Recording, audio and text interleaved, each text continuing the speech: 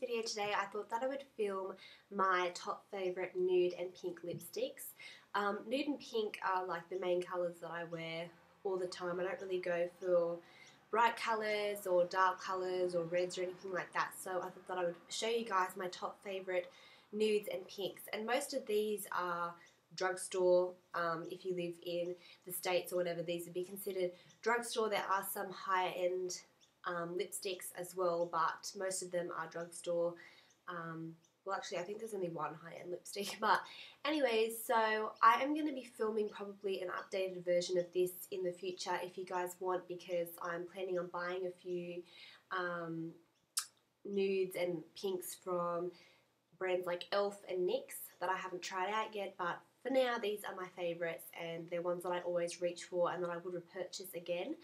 So yeah, let's just get started. The first one is something that I don't actually have with me because it melted and broke and that was ages ago and I haven't repurchased it, but it is MAC's Creme de Nude and MAC's Creme de Nude is my absolute favourite nude lipstick. It's just the perfect nude colour.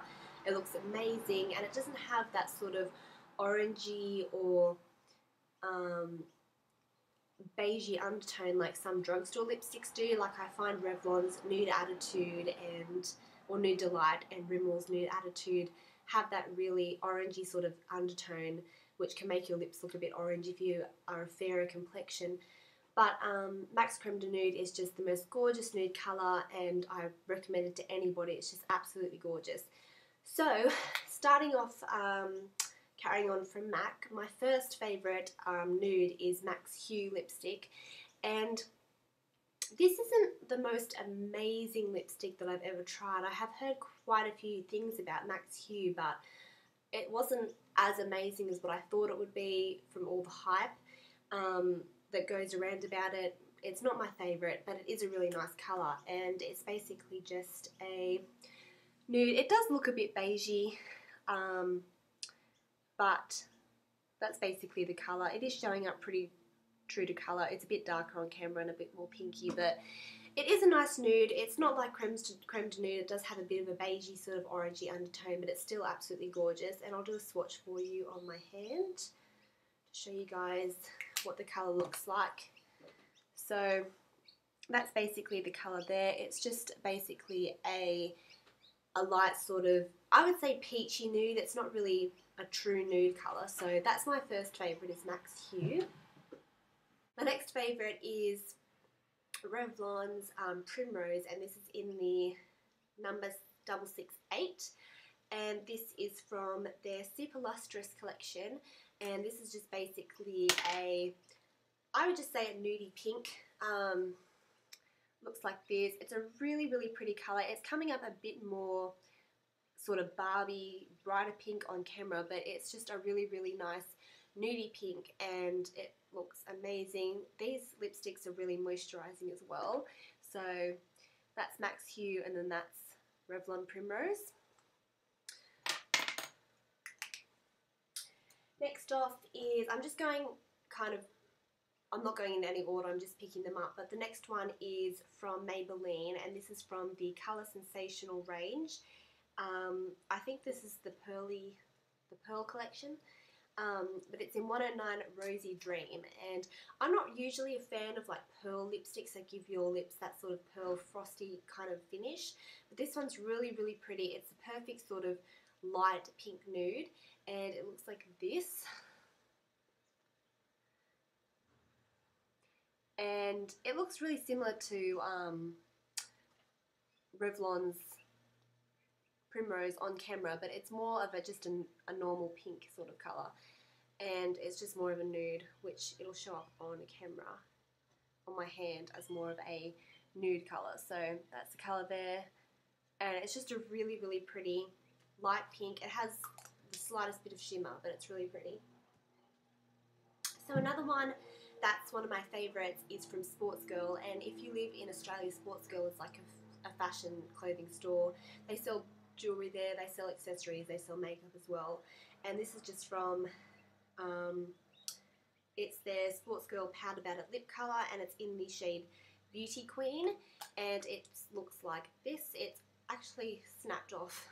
it's melted, but um, I know all these are looking like really similar on camera, but they do have a difference in person. You can see in the swatches that they're different, but this one is just basically um, a dark pink, a dark rosy pink, and it looks like this. And then this swatch is, right, oh, okay, it just completely broke off. The thing about this lipstick, hang on, I'll just put it back there. So that is the colour there, and that's Beauty Queen from Sportsgirl.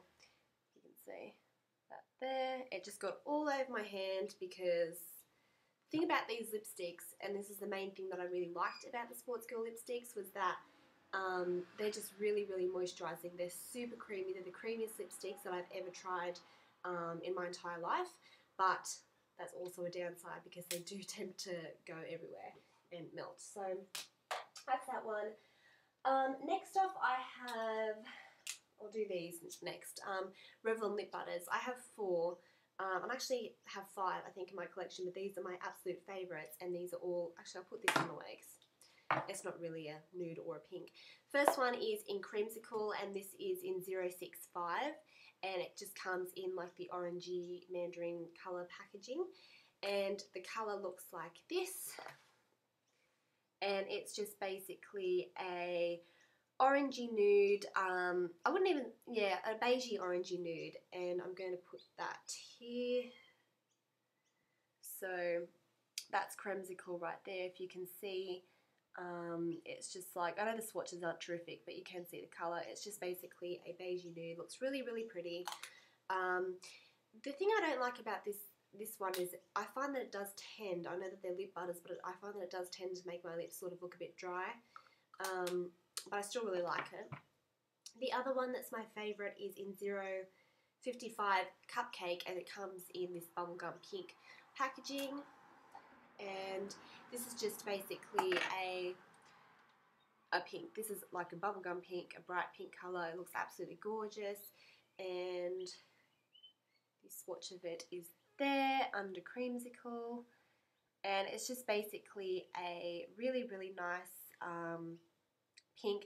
It kind of looks a bit purple on camera but it's not really purple. It does actually have a bit of a purple undertone to it so I really like that one and then the last one is in, I picked up the wrong one.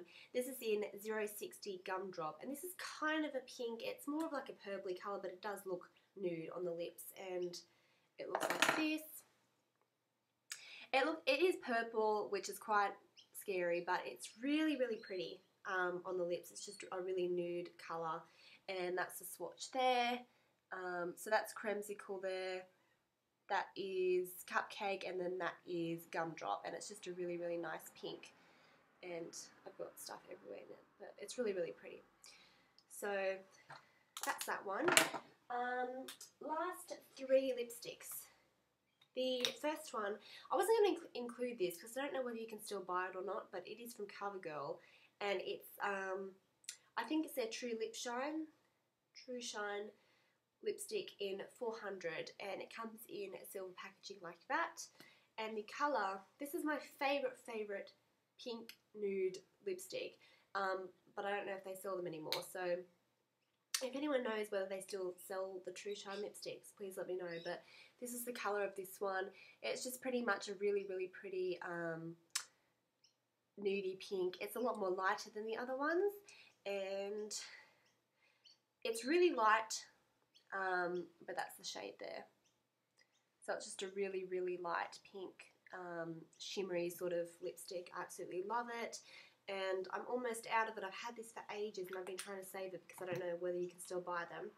Last two. This one is one of my favourites, and the reason it's my favourite is because I believe it's like $3.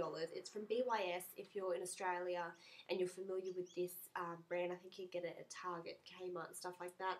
Um, but it's just their normal lipstick. The packaging is horrible, um, but the colour is amazing. It's in the colour Sassy Salmon, and it's basically just a bright pink or a dark pink. And these are super moisturising. They last forever. They're really, really opaque, as you can see by the swatch. There it is there. really, really opaque. They last forever. I definitely recommend if you live in Australia and you know of the brand BYS, go check out these lipsticks. They're just absolutely gorgeous and they're really good quality for the price. And then the last one is um, the Face of Australia Lip Quench SPF 30 lipstick in the shade Pink Champagne.